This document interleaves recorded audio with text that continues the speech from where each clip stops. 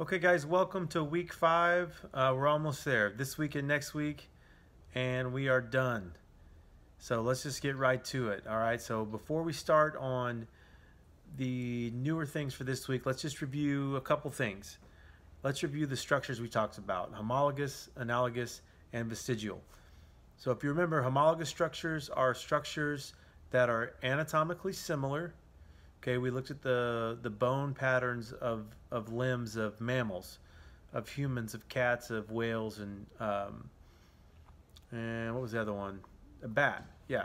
And uh, we looked at those patterns and we could see the, the anatomical similarities, and those point to common ancestry. Analogous structures are structures that are used for the same purpose, but aren't necessarily built in the same way and they don't show any common ancestry. So uh, the wing of a butterfly versus the wing of the bat, built totally differently, um, out of different materials, um, don't function the same way, but they do the same purpose. They're for flight. So those are analogous. And then vestigial structures are those reduced forms uh, of a structure that no longer serve a purpose in a modern species, but once did. And they can also show common ancestry. So now let's move on to genetic drift.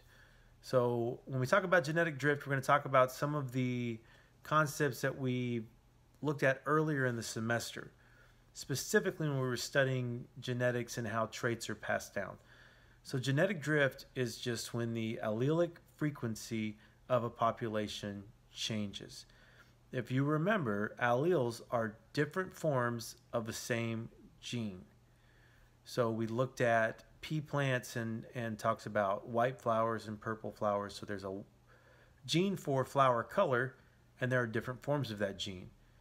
Those are called alleles. So there's a purple allele, there's a white allele. So when those allelic frequencies change, that would be the percentage of those alleles that are present in a population. When that changes, that is called genetic drift. So let's look at two extreme examples. The first example would be something called the founder effect. And this is when you have a small portion of a population or like a sample of a population leave the original population. So if you think about when the United States was being colonized, um, segments of, of the population in Europe would move here and so they would separate from that original population. So those new populations that moved here, the samples, um, they may have a different allelic frequency of certain traits than the original population back in Europe.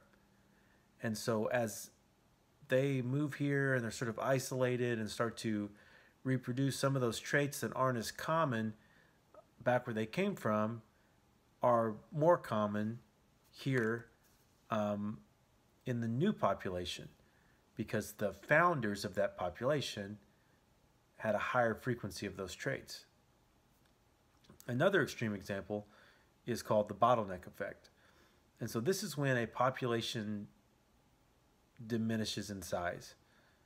And so for whatever reason, a population dwindles down, the population dwindles it becomes very small, but then it rebounds and grows again.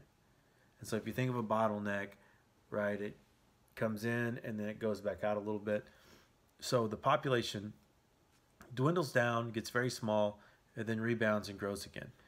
And so in this instance, what happens is the survivors in that population when it's at its lowest are the ones that have traits that have high fitness that helps them survive when whatever else was affecting the population caused it to shrink and dwindle down these individuals survived and so as the population rebounds and starts to grow again, whatever traits were common in the very small population become more common as the population grows. Now the problem with this is that sometimes these the population dwindles so much that these organisms um, become very closely related in terms of genetics, so that um, they might even might even appear inbred. And you see this in the cheetah population today. So scientists think that around 10,000 years ago, um, the cheetah population shrunk, dwindled, got very small, rebounded and grew again, and then we know that about 100 years ago, it happened again. It shrunk down, they were almost extinct, and then this rebounded again. They're still in danger, but what you see with modern cheetahs is, from a genetic standpoint, they appear to be inbred. They're so closely related genetically. And so this is the bottleneck effect. So let's look at the second question here, the next question. It says, explain how genetic traits are distributed throughout a population for each type of natural selection. So we're going to look at stable selection, directional selection, disruptive selection, excuse me, and sexual selection. So stable selection is when of the varying forms of a trait, the population tends to move towards the the median, the average form of a trait, and away from the extremes. Um, so the extreme traits don't have good fitness. The average trait, the intermediate trait, has good fitness. And so the population, um, the frequency of that trait shifts in that population towards the average and away from the extreme. Then that's called stable selection. Then you have directional selection. This is when um, a trait in a population moves toward the extreme. So the extreme form becomes more common.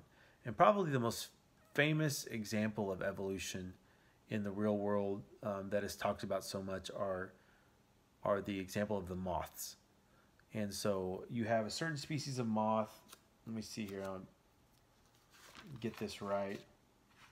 The peppered moth, yeah. So the peppered moth, and pre-industrial revolution in England, so before the industrial revolution happened, most of these moths were a grayish sort of peppered color, about 95% of the population. And they had very good camouflage with the trees that were local to that area. And so they'd land on that tree, they'd be camouflaged, their predators couldn't see them very well. But about 5% of the population had uh, completely black wings, dark wings. And so they were an extreme form of the trait. The average form, the normal form, was that white peppered sort of look. Well, when the Industrial Revolution happened, um, they were burning a lot of coal in the area, and that coal dust settled on everything, including the trees. Now these light-colored moths, they really stuck out. And so the birds and other animals that, that would prey on these moths could see them easier. But what happened? The ones that were the darker color, now they blended in. So over the course of the next um, several decades, what happened to that population is it shifted from one extreme toward the other. So it moved away from the light colored to after the end of, of the next uh, 30, 40 years, what you had was a population that was almost completely black in color and there were almost no uh, uh, light colored moths left. And so that's directional selection. It moved in one direction towards one extreme. Disruptive selection um, is the next one, and it's when you the population moves towards two different extremes, away from an average. And so you see this with certain species of snake, snakes, and as some of them moved inland away from like the ocean, from the sea, uh, their habitat changed. And so over time, the skin coloration that helped them blend into the rocky cliffs next to the ocean was no longer a trait that had high fitness. But the snakes that maybe were a little browner or greener that blended in with the grass or the dirt in the forest uh, further inland, now, all of a sudden, that trait had a higher fitness than it did when the habitat was different. And so, as the population spread out, what you see is the two groups move towards the two extremes.